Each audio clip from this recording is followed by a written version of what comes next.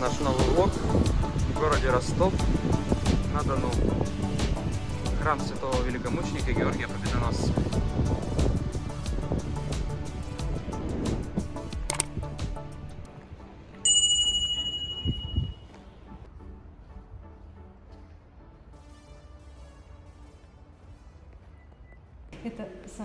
Один из первых храмов вообще на западном микрорайоне. Храм освящен в честь Георгия Победоносца. Почему? Я тоже скажу, потому что это знаменательно. Еще в 80-е годы у нас вот здесь ГПЗ, и люди очень рано ехали на работу.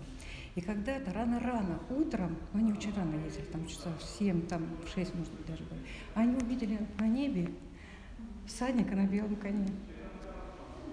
И вот с тех пор, батюшка, сколько раз нам предлагали отсюда. Вот это мы начинали строиться, это была строительная бытовка. Вот первая вот эта вот маленькая Первый часть, предел? это Да. да, первое дело, это была просто строительная бытовка, совершенно без фундамента, без ничего. И вот это нам дали, у нас есть там фотографии, да, вот это нам дали, мы это переоборудовали в храм. Вот. Надо же. Да, и потом сколько батюшки не предлагали в какое-то другое место, нам хорошие места очень предлагали. Вот, видимо, как-то Георгий... Другие нас- районы города. Нет, вот здесь. А, здесь, да? Да, да, да. Но батюшка не соглашался. Видимо, это все промыслительно было, потому что, знаете, вот сам Георгий показал, видимо, такое вот место. И, значит, наша вот такая основная икона Георгия Победоносца, она тоже очень чудесно была обретена. Вот, значит, это были склады, склады э, табачная фабрика, табачная фабрика, склады, и принес ее Георгий в храм, да, вот там они нашли и посчитали, что там где-то не место находиться. Вот, принесли сюда, и вот у нас вот это вот сделали мы, это центральная икона. В нашем храме, значит, очень много икон мироточивых. Вот. Об этом как-то мы особо не распространяемся. У нас икона, предположим, Дмитрия Ростовского, она печаталась на стекле. Вот. Много чудес у нас было перед всякими событиями, знаете, военными на Украине и так далее. Вот у нас в том пределе Господь мироточил, притом так мироточил. Знаете, вот все было буквально залито капельками, как роса. Вот. Я вот, в принципе, конечно, не буду сейчас распространяться, потому что очень много икон у нас. Люди захотят, приедут, посмотрят сами вживую, да, да, увидят. Да, да. Вот Даст чем Бог. еще хорошо, вот чем еще знает наш храм? Вы знаете, вот мы все здесь делали своими руками. Мы никуда не заказывали. У нас в то время еще, когда мы делали, это были до 2000 в 2004 году вот этот новый Мгм. предел открылся. Вот вы, наверное, заметили, что здесь хорошая акустика, потому что Потрясающе. да, вы знаете почему?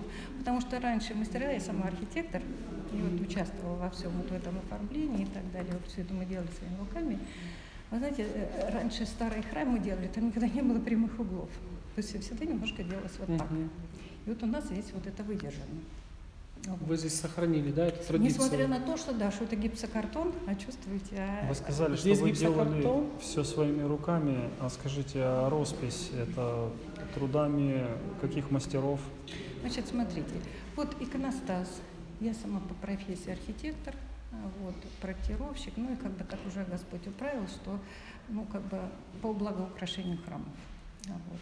Ну и пришлось нам, конечно, самостоятельно делать вот этот иконостас, который вы видели, вот, в малом пределе иконостас, мы тоже делали сами. Все лепили из, из чего-нибудь.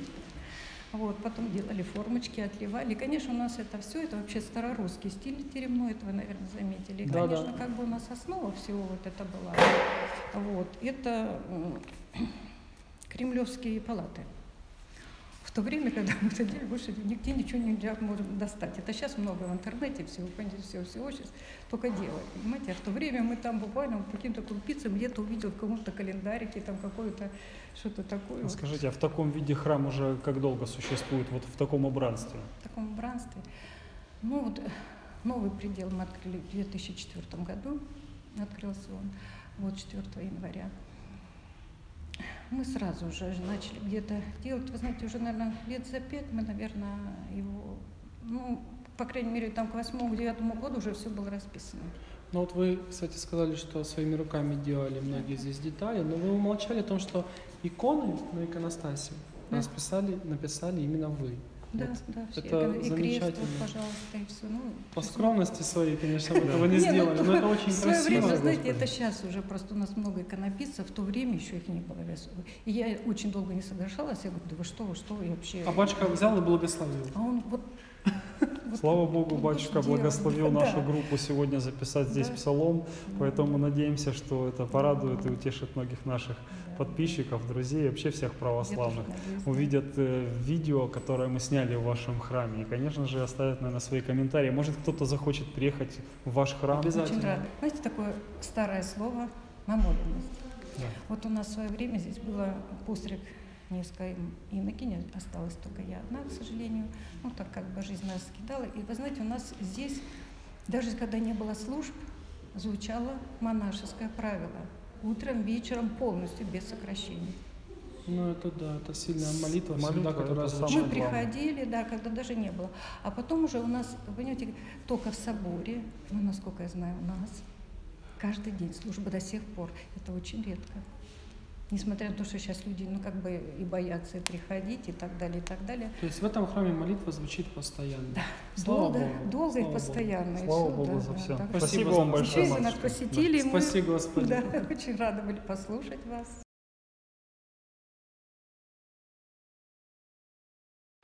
Господь посет мя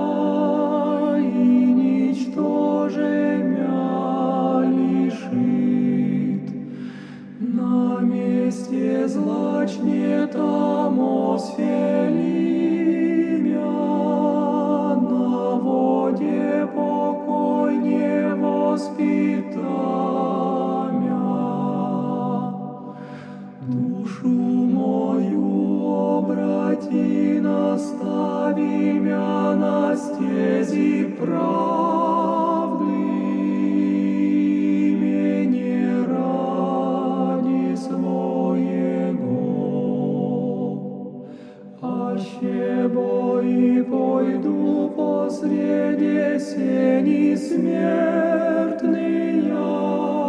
не убоюся зла.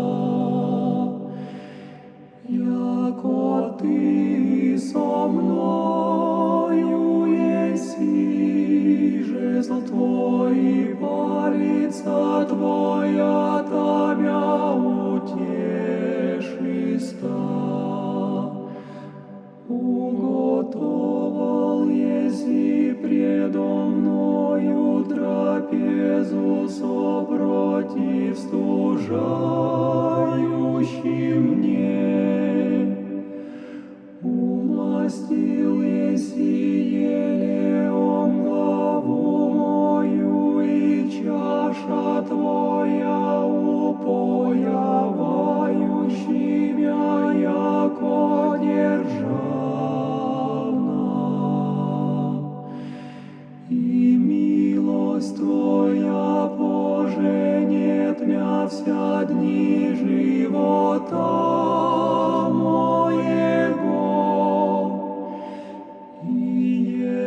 еже вселите мися в дом Господень долго